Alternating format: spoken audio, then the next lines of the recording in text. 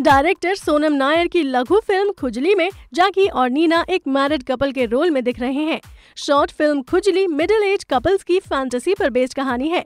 बेटे की परवरिश और माँ की देखभाल करते हुए ये एक दूसरे के साथ वक्त बिताना भूल जाते हैं। कहानी में ट्विस्ट तब आता है जब जाकी को बेटे के कमरे से हैंड कफ मिलते हैं। इसके बाद नीना उन्हें fifty shades of grey book और बी के बारे में बताती हैं।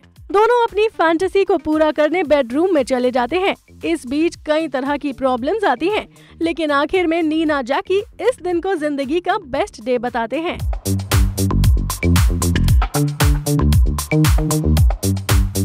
अभी वीडियो को लाइक करें शेयर करें और अभी चैनल को सब्सक्राइब करें। इसी तरह की चटपटी न्यूज़ देखने के लिए फिर मिलेंगे मसालेदार खबरों के साथ। Bye bye